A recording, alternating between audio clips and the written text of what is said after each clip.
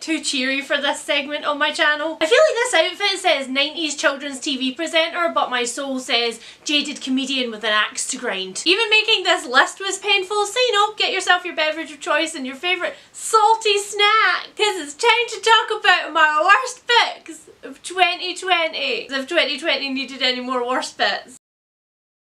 Hi guys, it's Leanne and I've been putting off making this video because I'm gonna sound like a bitch. But you know what, I'm fine with that as my legacy and we like opinions on this channel. Some semi-good news is this list is only 8 books long and I feel like for 2020 that's a very conservative list. Now before we delve into the depths of the salt mine, I first want to briefly address a discourse which has once again floated its way to the top of the scum pile. And that of course is the idea that worst books videos and in fact negative reviews in general are a. not necessary, B. not valid and C. just pure mean. I have been on booktube for six years now and every single year there are some facets of this conversation which happen again and again and I am over it. First of all, reviews are not for the author. They are for readers of the book. They are fundamentally how other readers find books that they are interested in reading. I'm an illustrator and I put art out into the world and I absolutely know that every time I put out a piece of art for every five people who go, oh my god, that's amazing, I love that, there are another five people who are like, oh, that is totally not my aesthetic, that is, no, I do not like that. If I broke my heart over those five people who didn't like my art every time, I would never make another piece of of art. When an author writes a book and goes through the process of getting an agent and then finding a publisher and going through the entire publication process, of course they are deeply emotionally involved in that piece of art which they have lovingly created and put out into the universe. But in purchasing that book and choosing to buy that book, you have already supported them in their dream and their journey. If you then subsequently do not like that book or even think that book is terrible, that is perfectly acceptable. You are entitled to your opinion. You are entitled to tell people your opinion. And as I have consistently said every year on this channel, it is perfectly acceptable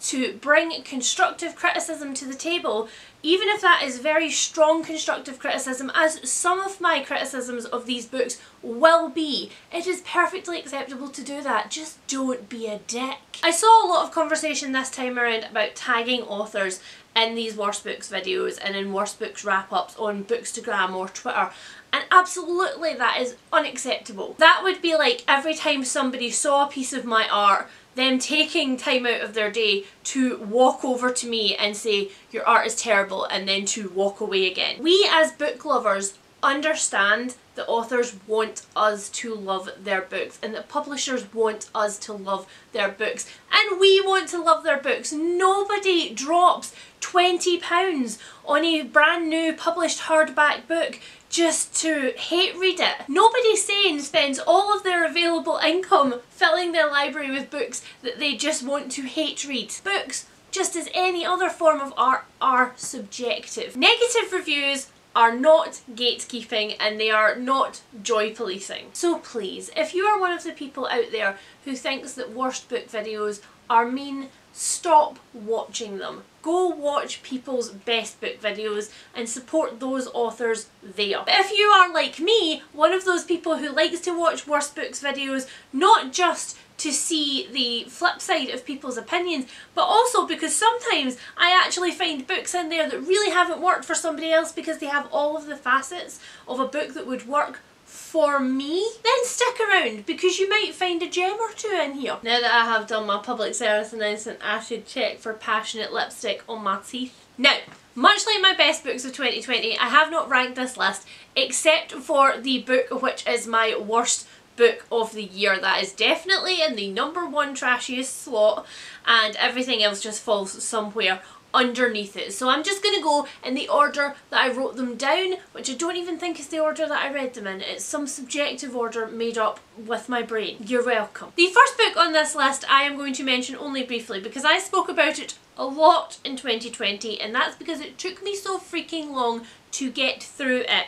That book, of course, is The Murders at White House Farm by Carol Ann Lee. This is a true crime account of Jeremy Bamber's slaughter of his entire family in the 1980s. This book does two things that I really, really hate about true crime novels. The first is the actual format of the book. While it is perfectly readable and I actually really like Carol Ann Lee's prose, she chose to begin the book by going back not to Jeremy Bamber's parents' generation but to their parents' generation, which is a generation which never appears in any of the narrative.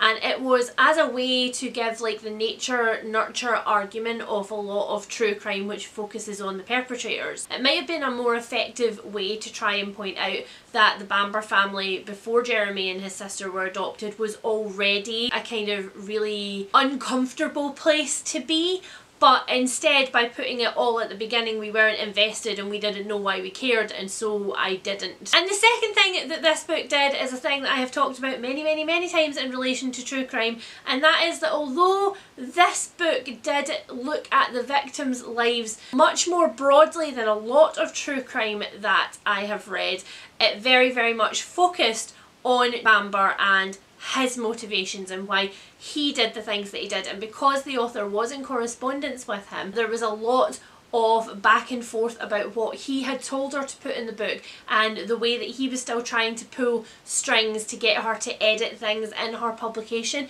And unfortunately although she was trying to use it to illustrate the way in which she was not going to let him shape the narrative it unfortunately gave him quite a lot of airtime on the page and so he did successfully shape the narrative. The rest of this list is kind of thrillery focused but before we jump into that mess I first want to mention another book just very briefly and that is Break Your Glass Slippers by Amanda Lovelace. This is a poetry collection which is loosely related to the Women Are Some Kind of Magic poetry series that she did. This poetry collection I think falls victim to that thing that happens sometimes where it's like style over substance. The poems in this were universally quite short, they were quite sort of staccato and they were formatted really weirdly on the page so that the poems didn't take up very much room at all. And it was a really weird choice for this one. If it had been done in the previous collection I could have understood it because it would have been sort of like a metaphor for the way that women have traditionally not taken up a lot of space on like the page of life. But this one is kind of trying to promote you to feel good about yourself. It's more like affirmations than it is poems which delve into like past experiences. And I've seen a lot of moaning about Amanda Lovelace's poetry and poetry like that like Milk and Honey in general where people are calling it Instagram poetry as if that is somehow like lesser or as if short form poems that are more to the point and less lyrical are somehow worthless and I think that entire argument is just a really shit take. But I did feel like a lot of the poems in this one felt kind of like offhand. There wasn't a lot of depth to them. They were very surface. I think this collection might be good for uh, teen girls if they are people who are new to the idea of valuing themselves but for me I got very little from it and it actually kind of put a bad taste in my mouth because it came on the heels of checking out another one of Amanda's collections which really also didn't didn't work for me so I think I'm going to give her work a break for a little while. Right so delving into the mystery thriller portion of this list which most of the rest of it is let's be perfectly honest. This is Anything You Do Say by Gillian McAllister and it is a sliding doors thriller. I had quite a few issues with this one involving things that I have issues with in a lot of other thrillers. Like there were a lot of really poor and unexplained choices made by the protagonist in both versions of the choice that she made. And unfortunately they were kind of explained away in the narrative by like oh she's a bit scatterbrained and she never really follows through on anything and she procrastinates about everything in her life. But unfortunately we knew nothing about the character beforehand and not enough of her afterwards in any other scenario for us to actually see that proved through in her life and so we're just told constantly that that's what she's like. Also in both versions of the sliding door scenario her relationship breaks down and in both versions I didn't even buy that they were a couple in the first place. This is one of those where if it was just like billed as a domestic thriller, if there was more about the relationship in it, I would have been sitting here being like, this is another domestic thriller about people who fundamentally don't like each other and I don't believe that they would have been together in the first place. Again, I feel like there wasn't enough of their relationship on the page when they actually liked each other and so when they didn't like each other I was like, cool, okay, you don't like each other, just break up. And then finally, the thing that's really, really bugged me about this one since I read it, and in fact more and more when I think about it, is the way that the protagonist continually promotes the idea that if she is not a mother or she's not able to have children, then she is worth less. It's the way that motherhood is held up to be this like one ideal that all women should strive for. And while I understand that some women do feel that way, I feel like the protagonist portrayed it very much as a thing that's like it's a universally accepted concept and we all feel that way and I felt like it was really damaging. I've spoken to a few people who have both really liked and also been a bit eh about Gillian McAllister's books and this like theme of motherhood is apparently something that pops up in quite a few of her books so I'm a little bit trepidatious to try another one. This next one is one that I definitely think I have an unpopular opinion on because if I look on my Goodreads predominantly it is five and four stars. This is of course When No One Is Watching by Alyssa Cole. First of all, the plot of this one is very very close and by very very close I mean identical to a movie that came out really recently which was dealing with black people disappearing. It was a horror thriller and it was set in a white neighbourhood and that's all she's going to say about that because if you haven't seen the movie that I'm talking about you might still really like the book because it won't be a complete repeat for you but it was a complete repeat for me. I knew exactly where it was going from page one. There was no twist, it was just a retelling of that very popular movie and I felt really really ripped off by it. Not because I need every thriller that I read to be this like new experience but because if you're gonna retell something at least change up some elements of it so that I feel like I'm in a new scenario and I did not at all in this one. And the second part of this was I loved Sydney in the beginning of this. She was like this strong independent woman who was determined that she was going to like crack open this mystery of her community. She gets involved with a guy from the neighbourhood. The book then shifts gear and becomes a romance book. It becomes very much about Sydney and her relationship with this guy and all of the plot points just like sort of fell into the background. That wasn't what I signed up for. I've since discovered that Alyssa Cole is actually a romance writer by trade. Like that's that's primarily what she does and this is her first thriller. And I think if I had known that going in I would have been less surprised with where this went and maybe my expectations could have been adjusted a little bit but as it was I just felt really cheated by it and I just didn't believe the relationship. Okay so the next three books that I'm going to talk about are thrillers and one of them is in fact my worst book of the year. I'm going to talk about them all individually because they all had other issues other than this one thing but they all had this one really terrible thing tying them together. This one overarching horrible theme which ties the three of them together and that was the way that they represented bodily difference and bodily disfigurement. So the first book that I'm going to talk about is Bliss House by Laura Benedict. I picked this up in my month of picking up only spooky books and predominantly I was picking up only haunted house books. So the premise was amazing. But it turned out that the reason the mother was taking her daughter back to this house was because there had been a horrible fire, there had been an explosion in their old house which had killed her husband and which had left her daughter with really, really terribly painful scars. And the way that these scars were introduced onto the page, I, I, I shit you not guys, was that her daughter had like a hood or something over her head and she turned around to the contractor who was there and he had this like oh moment when he looked at her face. And every single character who gets introduced to her and sees her face throughout this whole book has the exact same reaction. They have this horror reaction which eventually gets to this like oh okay I can look at it now reaction which then turns into oh you poor thing what a shame your life has been wasted by this. Like every other aspect of her daughter's character then meant nothing because she had a physical disfigurement. And it was so insidious. There were so many mentions of the way that she could have had a bright future but she now wasn't going to have one. Of the way that men would never look at her again. There are two other things in this book which have to do with romance that I'm not going to go into too much because really they honestly made me feel ill. But one of them involves a boy her own age noticing her and seeing her despite her disfigurements. And the author presents him to you like he deserves some kind of merit award for finding her attractive despite the fact that she has a physical difference. But the last thing about this that really, really made me so angry was that one of the effects of the house was that it was making her better. So she walked with a cane at the beginning of the novel and as she spent more and more time in the house, she needed the cane less and less and her mother kept commenting on how this was a good thing instead of seeing the obviously like vacant look in her eyes as she was being like possessed by ghosts.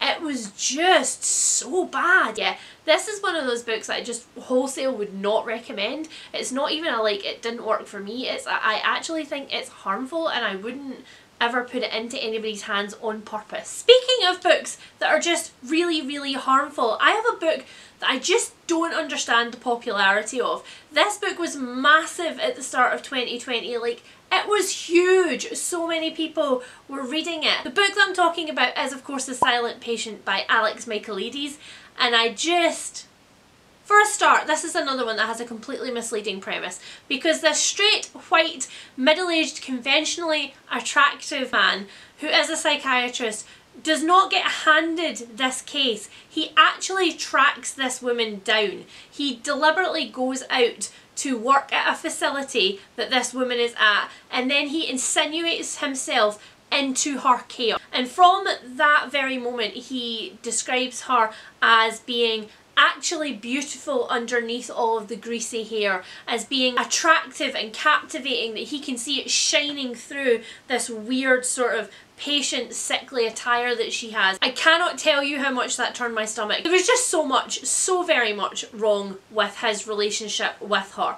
But then as I've touched on, he does value her above all other women in the book because there are other women in the book who are done so dirty. There's one particular patient that he describes as being fat and greasy and just horrific to look at. He presents her as such a horrifically horrible person who smells and is dirty and yet she's in the exact same position as this woman who he finds radiant and beautiful. And that's without going into the weird sort of plot holes in this which is that nobody was really reviewing his patient care which was that he was allowed to somehow be alone with this extremely violent offender alone with a very vulnerable woman in a room with no CCTV that he was able to sneak about the facility and there was no CCTV picking him up in the corridors. This book very clearly tells you that it has an unreliable narrator in the blurb in the beginning and I haven't spoiled anything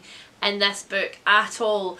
And despite the fact that this narrator is meant to be unreliable, I could not get away from the fact that this is so clearly the views of the author. Like the same phrases and the exact same way of seeing things was repeated over and over and over again and it was so clearly the author on the page. So many people on my Goodreads though have read this, like so many of you have read this and have rated it really highly and I just, I don't understand. I don't understand guys. Please explain it to me. And finally in this category of body shaming horrendousness I have so much to say about this one that I'm not even going to beat about the bush with it.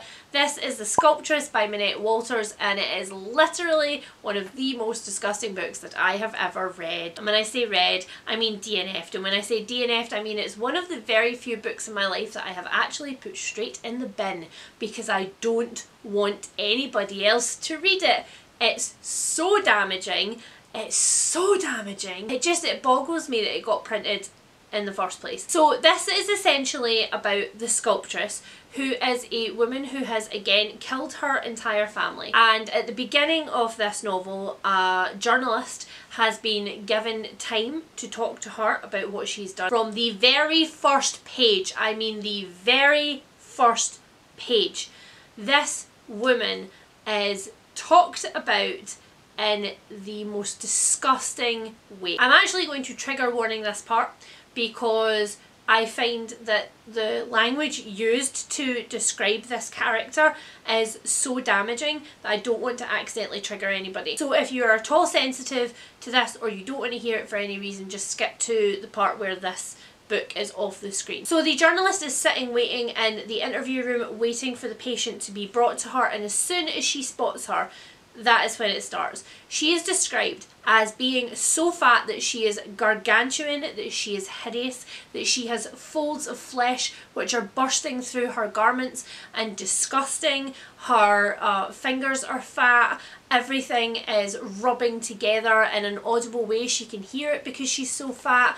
It talks about the way that her feet are pointing in different directions because her thighs are so fat, and this is the word that continues to be repeated over and over and over again, are pushing her feet in opposite directions so that she can only shuffle, she can't properly walk. It talks about uh, the wheezing, it talks about her folds again and again. And then on the very next, this is the third page guys, on the third page it talks about the journalist knowing about an incident which had happened and she's relating it to you like it's a funny thing, like it's a haha, oh my god, can you believe this? Where this woman got stuck in one of the toilet seats in the facility because literally her fat got sucked through somehow the toilet seat and then she had to get guards to leverage her up and it was like attached to her like in some kind of comedy movie. And she presents this to you like ha ha it's so funny oh my god can you believe this? And I just couldn't believe what I was reading on the page. I actually I couldn't I, I took the book away and I read it out to so many people and I'm like is this just me and every single person that I read the beginning of that to was like are you serious? Is that a published book? That is not only a published book, this is an anniversary edition of this book. And I don't care how good the thriller is. I don't care how good the twist is. I don't, I really, I, I, I cannot describe to you how little I care about the plot after a character is described like that. So yeah, I don't think I need to tell you that I don't think that you should pick this up. But just in case I've somehow made myself unclear, I don't think you should pick this up. I think it's a terrible novel there are so many other novels which deal with women in asylums or which deal with women who have killed for seemingly inexplicable reasons. You can find lots of them, just don't, don't, don't choose this one. But you will notice I have kept one book for the end of this list and that is for a little bit of light relief because I figured ending on that one might be a bit like well, so I have kept back a romance novella and I would like to complain to management about this novella because it was so disappointing. This is about two women who meet in the course of their jobs. One of them, Katie, is like 28, conventionally pretty, very feminine, who's just met the man of her dreams and doesn't ever, ever, ever think that she could find another woman attractive and then she meets Cassidy who's literally described in the blurb as assertive and sexually promiscuous like either of those things are unusual or bad things. And that's without even touching on this idea of sexual promiscuity and how many partners are too many partners and when other people get an opinion to say that about you and your body. For such a short novella we touched on so very many stereotypes, like so very many stereotypes. I just feel like Camille Perri had like a sapphic bingo board and she was sitting there like I am going to get a full house with all of these weird tropes. Cassidy dresses primarily like a man. Cassidy shows her assertiveness and her confidence by being rude to people. She's abrasive and unpleasant and on a few occasions she's actually downright out of order and yet all of these things are things that are very attractive to Katie because she is slight and feminine and she wants to be looked after. And essentially Cassidy represents all of the daddy issues that Katie has ever had in her entire life. There's also this really awful revelation moment where like Katie realizes that Cassidy wears men's underwear and she's like, gasp! Like this is some kind of weird thing that she's never encountered before and yet somehow it's so incredibly sexy because Cassidy does it. It was just, it was, it was a bad time. It was a bad time and there are so many other female female novellas that you can like search out and uh, just, just don't do it Just don't do it. So that was my salty list of saltiness for 2020. Did you enjoy it? Did I trash any of your favourites? I'm really sorry if I did. But at the same time, completely not sorry because this is how I feel. Please do feel free to tell me how you feel in the comments, however. Are any of the books on this list genuinely your favourites? Do you disagree with me? I like opinions. Please tell me yours. Please also tell me your top worst book of 2020. I have to hear it. I have to hear it. I'm emotionally invested in it. If you enjoyed this video, please consider liking and subscribing for more of me and my endless, endless opinions. And I will see you guys very soon for some book gushing when I haul things all over the place. Just haul things everywhere. So many piles on my floor. So many. Okay. Goodbye! I actually twice in this video almost gave myself an asthma attack whilst ranting. So believe me when I say that I do this for you.